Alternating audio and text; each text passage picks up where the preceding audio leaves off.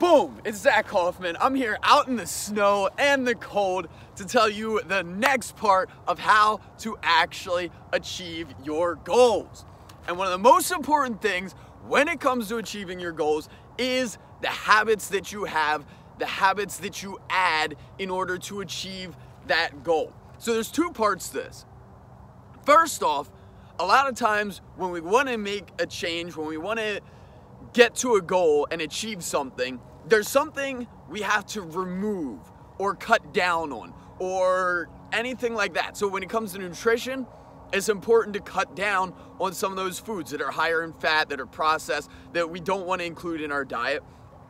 Same thing when it comes to if you're going to add in any kind of exercise workout program, you're gonna have to cut out something, whether it's watching TV, whether it's going out with your friends an extra time, whether it is giving up some other type of hobby, activity, playing fantasy football, whatever it is for you, there's gonna be something you have to cut out to make that time. Could be getting up early or going to bed later, whatever it is for you. There's always something you've got to cut out. So that's the first part.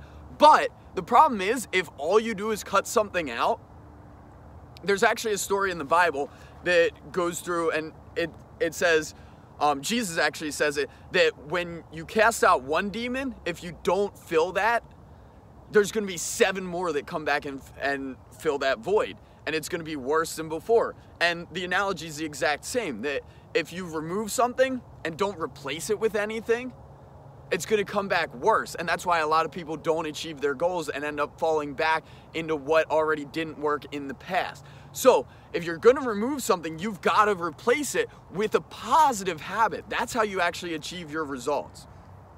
So, when that happens, now this part, I'm gonna get into how to not do this and some of the stuff I hate when it comes to fitness, nutrition, that kind of industry.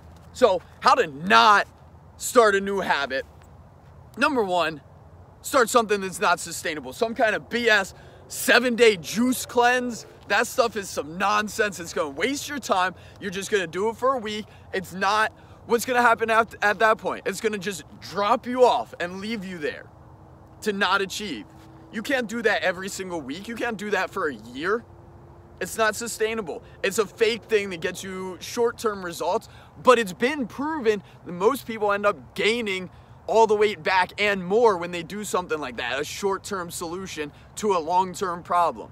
That's not effective. Same thing with all the 14 day fixes or 21 day fix or whatever 21 day challenge, things like that. This is a nice idea, but a lot of times those things incorporate doing whatever it is every single day for that entire time period, which is nice and it's supposed to it's supposed to be connected to the fact that 21 days builds a habit. But the problem is, what habit are you building? You're building the habit of doing this, whether I'll use the example of exercising, you're exercising every single day for 21 days. Cool. But now you built this habit, this habit of exercising every single day, which isn't realistic. There's so few people that are going to be able to maintain that every single day for a year, for three years, as they're moving towards their goals. You're not building a real habit. What happens when you fall off one day? It doesn't account for that. It's not real life.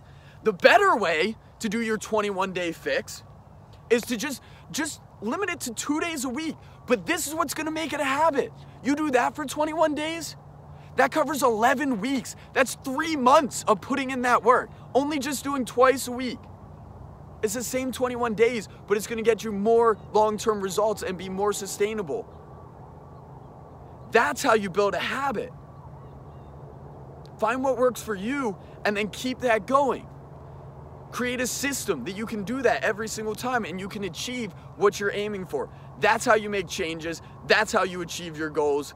Go out there and attack it. Create great habits. Let's go.